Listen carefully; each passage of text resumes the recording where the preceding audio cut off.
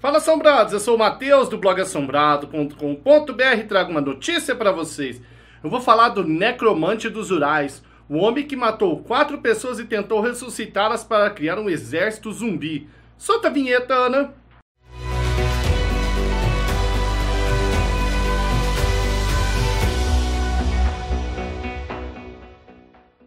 Assombrados, alguns meses atrás eu fiz uma notícia relacionando Rússia e zumbi foi que estava acontecendo lá na Sibéria, uma bactéria lá que estava matando as coisas. E aí fizeram um clickbait no Brasil e eu fiz um vídeo explicando o que que era. Foi um vídeo bem legal que passou do meio milhão de visualizações. E agora, uns meses depois, estou eu aqui novamente para relacionar Rússia e zumbis. Só que dessa vez é um caso um pouco macabro. O cara lá matou quatro mendigos e tentou ressuscitá-los com ritual de ocultismo para criar zumbis segundo alguns jornais. Nós vamos descobrir a verdade no final dessa postagem, tá? Então vamos saber mais sobre o assunto. Sombrados, lá na Rússia existe uma cidade chamada Verkhnaya Pisma, que é uma pacata cidade de 60 mil habitantes, distante 1.800 quilômetros, praticamente em linha reta de Moscou. E bem próxima ali a Ekaterimburgo, né?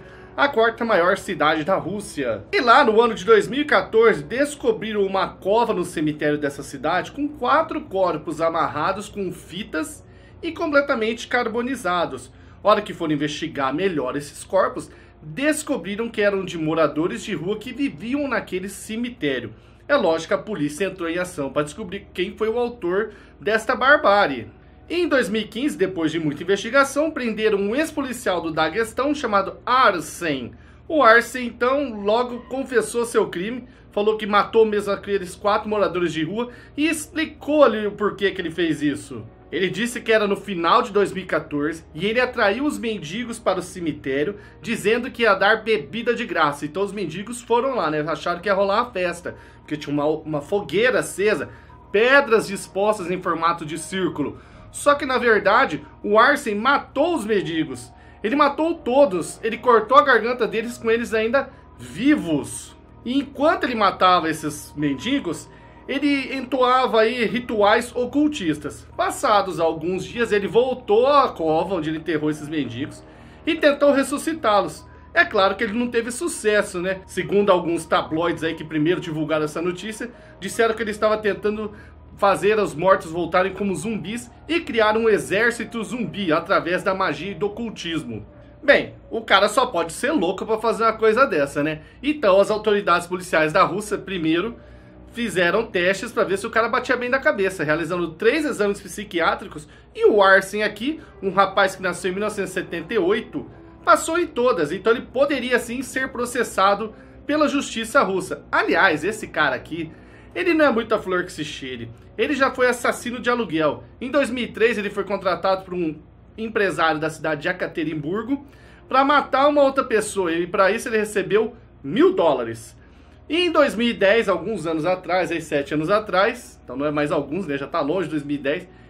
Ele matou outra pessoa que outra pessoa mandou e dessa vez ganhou menos, só 700 reais. E ele já foi preso em 2004 por porte ilegal de arma. Ficou quatro anos na cadeia e saiu em custódia. O processo da morte de 2010 ainda está rolando. E ele está preso. Ele está preso lá desde 2015, quando descobriram aquela vala lá. Só que o caso ficou em sigilo, quase não se ouviu falar. Porque o Arce é um ex-policial, então tem o sigilo. Agora que chegou a hora do julgamento, eles deram mais detalhes de tudo que aconteceu. O julgamento já aconteceu, ele vai continuar preso. Fizeram um acordo lá para ele pegar no máximo 13 anos e 8 meses se ele for considerado aí culpado. E ele vai ficar encarcerado até junho, que é quando ocorre o julgamento de fato. Hoje foi a juíza lá que viu se ia manter o rapaz preso ou não. E com certeza manteve. Aliás, tinha até alguns familiares das vítimas ali que foram mortas por ele, revoltados, né, chorando. E o Arsen dentro de uma cela, desenhando assim num, num pedaço de papel, como se nada tivesse acontecido, sabe? Frio, duro. Coisa estranha de se ver. E por causa desses crimes aí bizarros, ele ganhou o apelido de necromante dos Urais. Só que ele revelou que é o seguinte: o que, que aconteceu na realidade? Ele conheceu pela internet um professor de ocultismo que começou a explicar para ele sobre os deuses eslavos. E que para se aproximar desses deuses era necessário sacrifícios.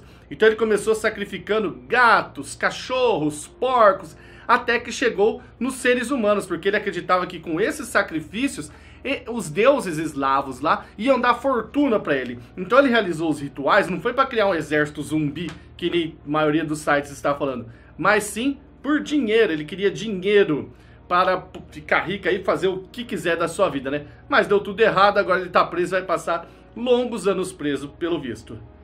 História bizarra, hein, assombrados? Coisa triste. Quatro pessoas mortas. Tentou ressuscitar lá para pegar, pegar din-din. Deixa sua opinião então sobre esse caso aqui. E é isso aí, assombrados. Boa semana a todos. Até mais.